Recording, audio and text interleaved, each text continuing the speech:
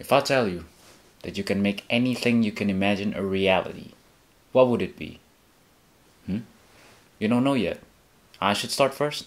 Oh, fine. From me it would be the Blue Sword. Oh, but I know King. Shiny sword, man diamond. The long, slender blade. The thorny, icy vines. And the precious Blue Rose. When I first laid eyes on this sword, it was love at first sight.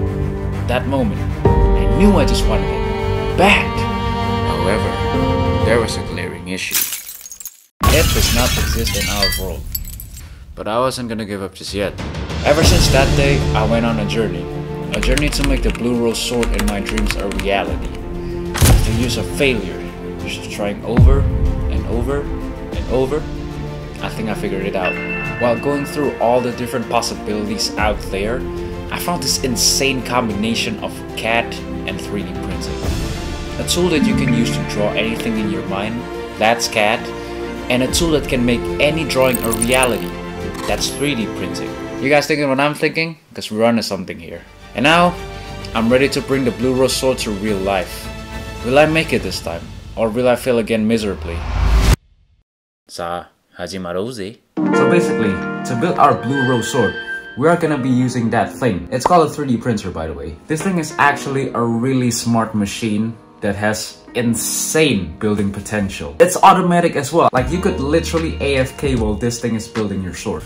But despite the insane features this 3D printer has, in the end it's still a printer. It basically does not know what to build unless you tell it what to do. And so how do you tell it what to do? You do that with a digital sketch, a 3D model, CAD. To build this CAD model of the Blue Rose sword, I'm gonna be using this software called Fusion 360. Not sponsored by the way. This entire CAD model took me over 8 hours to do. Fun fact, I stayed up all night just to work on this model during an insomnia session. It was absolute pain. I was just fueled by the desire to get this sword done, which also caused insomnia in the first place. Now I'm just gonna share the model of the sword with you guys so you guys don't have to go through the same pain I went through. and now that we have a decent model, we can get to printing. Before we get to that, we're gonna have to tell our printer how we're gonna print our parts. This process is called slicing. To do that, I'm gonna use my good old favorite software called Cura. To export the files from Fusion 360, just do this, this, this, this, and this. And now we got a list of parts to print. In this software, we can tell our printer how to orient the parts, how much material goes into the print, as well how fast the printer should go. Now, I wanted this build to be special, so I've decided to use some of these. This is a filament spool. It's the material that we're gonna use to print our sword. Usually I'd go with a solid color, but this time I wanted to use these very specific filament to create a blue translucent look on some of the parts. If you're wondering, this filament is called Iceland Blue by Fillamentum, not sponsored by the way. Now, this is where things get awfully specific. To create this beautiful transparent look, we need to make sure there's no gaps in between the layers. In other words, 100% infill. I'm gonna apply the setting for this, this, this, and every other part highlighted in blue. Once we're happy with the settings, we can save the file and transfer it to our printer. So first up, we're gonna print some blade section first. I'm gonna go with parts 1, 2, 3, and 4, aka the tang. I'm gonna use some leftover filaments from my other project to save some material. So I loaded the filament already. I'm just gonna wanna hit print, scroll to the file we wanted, and then just hit start. It'll take about 5 minutes for it to heat up, and then it'll start doing its thing.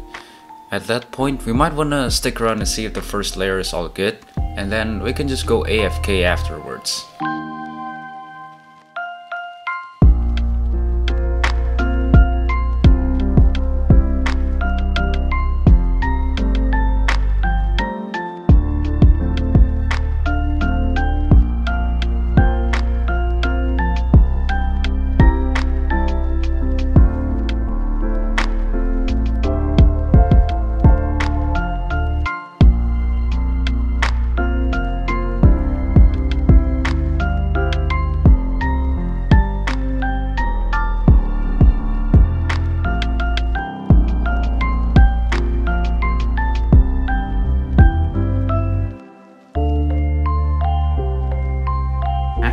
Spending 690 grams of filament and 70 hours, every single piece is finally complete. And now, ready to put them together. So, Here's the plan. Because we're gonna paint the blade section and keep the blue parts as it is, we're only gonna do the blade for now and we're gonna leave the eyes out and assemble them after painting. Now I'd usually use one of these epoxy glues to piece my sword together. But today I feel like going savage mode. Let's weld this thing. It allows stuff to soften up, as well as it does allow them to melt. Using a soldering iron, I'm gonna melt the edges, letting them liquefy and fuse them together. It's actually pretty similar to that badass traditional metal welding. Because our blade is put together using its own material, this will give it a much tougher and more rigid bond, albeit ugly. Now that I think of it, it actually saves me around 10 euros for every project because I don't have to apply too much glue. If you're lacking material in some parts, just grab some leftover filaments. This is another way to putting them to good use. You know what guys? I feel like an absolute badass right now. I used to watch my father building a bunch of stuff out of metal for his garden. Like he would weld a bunch of stuff on his own. Now I'm a welder myself. God damn it feels good bro. now, I do have to warn you though, you're gonna need to wear a mask and gloves. This molten filament can emit some nasty fumes. It's better to do this in a well ventilated room or just outdoors in general. Now, my case is a little bit different. I'm recording this at around 9 p.m. which is freaking cold outside. So basically the soldering iron is not gonna stand a chance against the cold. So I'm gonna have to record this inside my bedroom. Which means I'm kinda gonna be inhaling fumes all night as I sleep. Wonder if I'm gonna wake up tomorrow morning though. Alright, so we got the blade finally all nicely welded up and uh, I think it looks pretty uh, ugly. Like there's no way we're gonna print the blade like this. It looks it looks so blobby and which why we're gonna have to clean up the sword where we're gonna be sanding it. Got my mask on, got my glasses on. That's the other way around bro. And I want to start the day off with something rough, something fast, you know? Because usually in manufacturing process, you basically want to get rid of the material as fast as possible, which is why we're going to use the Delta Sander. The flat surface on this thing is definitely going to shred a bunch of plastic really, really fast. So we got everything we need, sander, blade, lights. Haji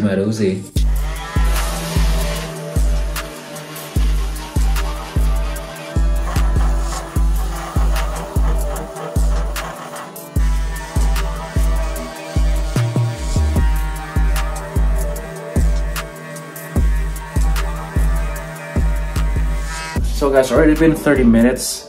I've gotten like most of the blobs uh, sanded flat as you can see right here. You can see I can run my fingers through it without any friction. This is the kind of finish you want to get. And now we can start to move on to this slot right here. These pockets are gonna be the holes where the arrow length thingy is gonna fit in. Is why we're gonna wanna widen these things up a little bit. Now, obviously, this thing is gonna be too big to fit in there which is why I'm gonna have to switch to my Dremel. Gonna start things up with this bit so we can clean the walls as well as uh, flatten the surface at the same time. Oh no, I forgot to charge. Fuck!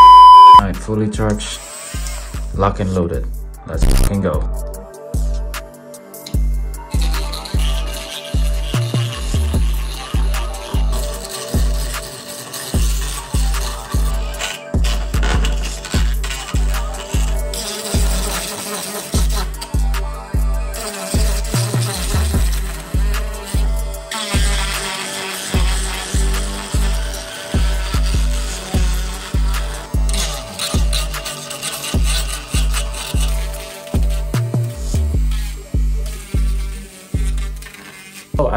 Forgot something. We're also gonna have to like uh, sand the tang a little bit. Let's see how big this thing is right now.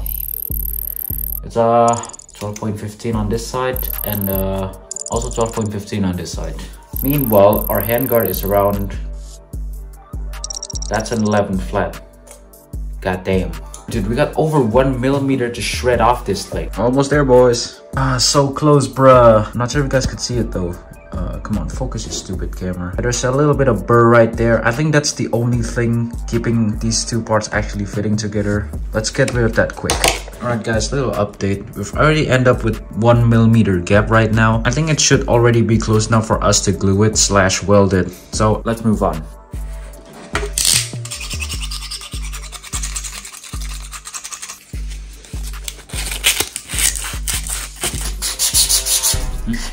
What bro?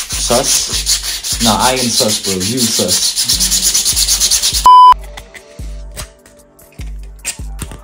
Uh, this one looks pretty good already. Anyway, here's a preview of what this thing looks like when it's assembled. Already looking pretty good though, except it's still black. Black rose sword. Black actually kind of looks good, bro, not gonna lie. Alright, next up we're gonna be sanding some of the IC parts, particularly the handguard. Because I've noticed for a few days there's been like quite a few dirt that got in between the layer lines. And I think it's gonna be very difficult to keep it clean if you don't have like a flat surface finish on this thing. So we're gonna have to sign it anyway. I guess we'll just do the handguard, uh, the lingette, basically everything except the handle rings and the rose are just way too fragile to do. So I'm finally done with this lingette pieces. This thing took me about like two hours each. And now let's move on to, oh shit! Bro, I swear, this lingette part has got to be like absolute most painful part to actually do. This thing, it took me like, I don't know, I started working on it last night. This thing took me about like 8 hours to grind and polish up to this point. Which is pretty tedious. But I'm just gonna quickly give you out the tips of what I did. So you guys can skip all the pain I had to go through. Uh, basically, just break the layer lines with some sort of like the hardest uh, rotary bit you have on your collection. Something like a diamond bit and after that just like quickly uh, sand it off with a thousand grit sandpaper now you might notice that uh, it's gonna leave like a bunch of white areas on it that's fine honestly it would take me like I don't know, two extra weeks to actually get this thing pristine with no white flakes whatsoever. Basically, like the these white flakes are actually just like filament dust on a rough surface and it's really hard to get rid of. So I basically just had this thought of putting clear coat on it and yeah, it works like a charm. But basically by spraying the clear coat, it just like uh, makes it moist and then locks it in place as the clear coat dries. Check it out, bro. This thing looks like something you'd pull out of your ice tray. Damn, that's beautiful. Yo, bro. I've been out here sanding these things for a total of about 17 hours now. I'm exhausted. So, uh, next up, we're gonna start by painting the blade. Where the f is the handle, bro? Oh, there it is. So next up, we're gonna be painting the blade as well as the handle, and then we're also gonna put it together. My sanity is at rock bottom right now, so if you guys would excuse me, I'll just take my fucking break before I completely lose my shit.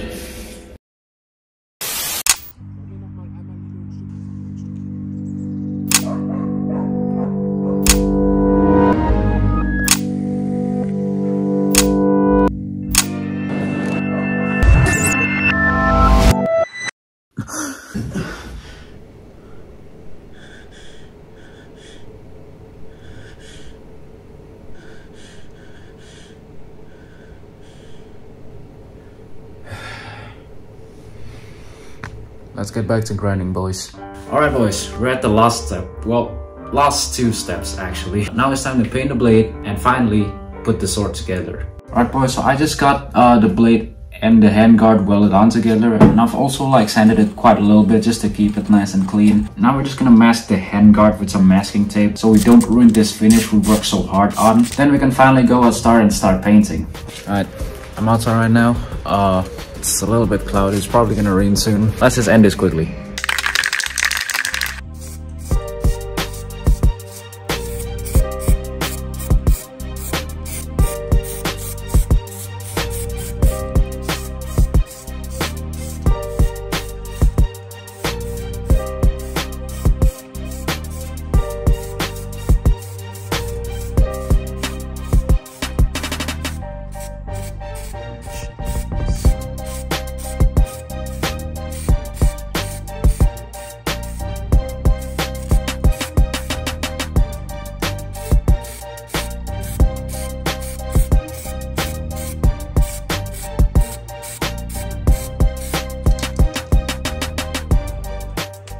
Okay, so the blade is finally dried and now it's time we glue everything together. To keep the assembly nice and clean, I'm gonna go with the usual epoxy glue. Yo bro, I'm so excited. You guys might wanna stay with me on this one. I promise you, this is gonna be very, very satisfying.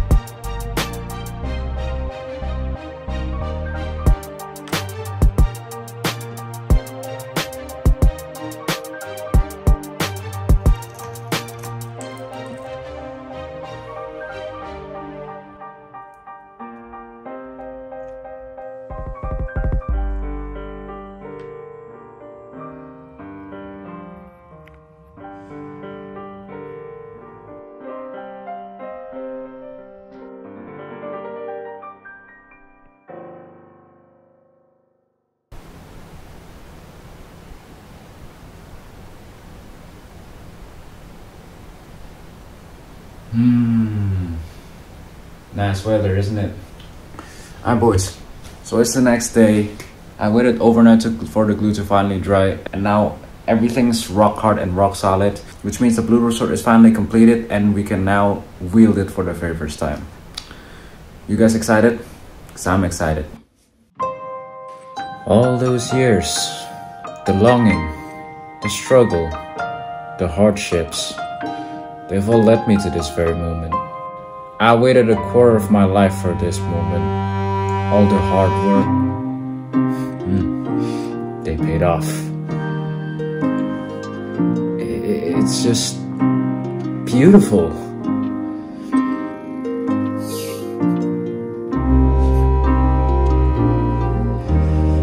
Finally, the blue rose sorted my dreams. Never have I thought I'd see the day it manifested into reality. Now, y'all know the deal with fresh new swords. It's time to take her out for a spin.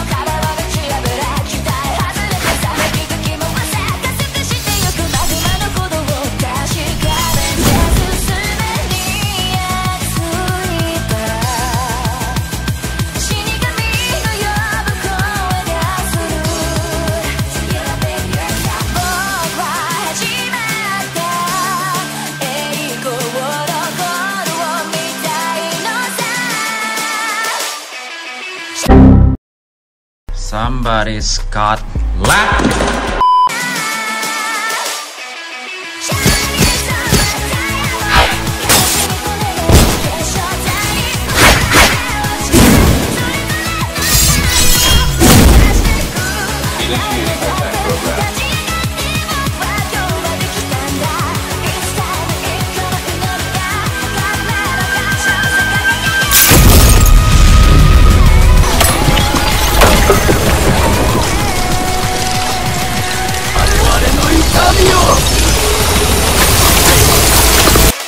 That was the Blue Rose Sword from SAO Alicization. I put my absolute heart and soul into making this sword as well as the video. Also shout out to my boy Noobman for helping me editing this sword demo scene. The result was also amazing and I'm really grateful for that. And uh, I really appreciate for all of you who's made it this far into the video because man, it's one hell of a journey for me to be making this thing which I'd probably say is my masterpiece thus far. And uh, now for all of you who's made it this far, I have a little bit of a confession. I lied. Look, the hard disk was never broken, it's intact. I literally sprinkled a little bit of water on it just to make it look look like I spilled water on it, but it's okay. Meanwhile, it's just a poor excuse to buy me more time to work on the Blue Rose video. But Bill, like, what's the point? Well, here's the thing. I posted back in December that I've already completed the Blue Rose Sword and I've already shot it as well. And uh, quite frankly, I, I was working my ass off in December and I was pretty exhausted and I felt like I was half-assing this project. It's it's not well done. It, it's no good. I didn't like it. Meanwhile, I wanted the sword and the video to be my masterpiece. I really just wanted to put my heart and soul into this one video, you know? Yeah, this is why I decided to just like make that cover up just to redo the video all over again. But in the end, I'm happy with the second shot. I'm completely satisfied with it and there is nothing I want to change about it. So I'm sorry for being selfish and for lying to you guys. Now, I did say earlier that I actually put like my heart and soul into making this sword as well as the video, right? Well, yeah, that's because, quite frankly, this thing right here is special to me, you know? This imaginary sword, it actually marks the beginning of my journey. It marks the start of me learning a bunch of all these stuff, you know? I had this in intense desire of just wanting see the sword in real life and just owning one for myself. And it was so intense that throughout the years I held on tight to it. I learned a bunch of stuff. I went to trade school and uh, I looked a bunch of stuff on the internet. I looked at how, how to do this, how to do that. And it's just crazy, like the adventures that this plastic sword has brought me into, like drag me through a bunch of insane learning lessons. And I learned a bunch of different skills just to make this one sword to the point where I would say I kind of know how to make just about anything now. I finally get to see the day manifest into reality and I'm just really glad that you guys could actually be here with me to witness my dreams coming to reality. And throughout this journey, I learned quite an important lesson, you know. It's like if you have this one intense desire, this one crazy idea, just go for it, bro. You probably wouldn't expect like the crazy trip that this insane ambition is gonna take you. Maybe you'll end up like me. You'll just probably like fail a bunch of times and try a bunch of new stuff. But from there, you're that's actually how you get to learn new stuff. Try to figure out every day, every hour, every minute. Just how am I gonna do this? How am I gonna do this? Just putting your entire mind into this one thing and to one day see it just happen manifest into reality. If you got this stupid idea, no matter just how crazy it is, no matter how just unrealistic it is, just start small. Like what's important is that you start. And then once you start, don't stop and you'll get there. It, it's such a beautiful thing, you know, and I really want you all to experience it in your lives. So now that I finally got to the point where I am, I've already made my dream sort of reality. Like, what am I gonna do? I just realized this thing that there's a bunch of different stuff to make out there, like a bunch of different anime weapons out there that I still want to make. And there's probably a lot different other stuff that you guys want to see me build. Right now, I've already made my own dreams a reality, and now I want to make you guys a stream a reality. That's basically what I want to do with my YouTube channel. I just want to build a bunch of different stuff while showing you guys what I learned and how I do it. So, comment down below what's next. I know this is gonna be a long ass journey, but I'll get to there one step at a time. All we gotta do is just start. I've already got a few projects in my list here. So I'll see you guys in the next video where we're going to start building a bunch of other stuff. Until then, say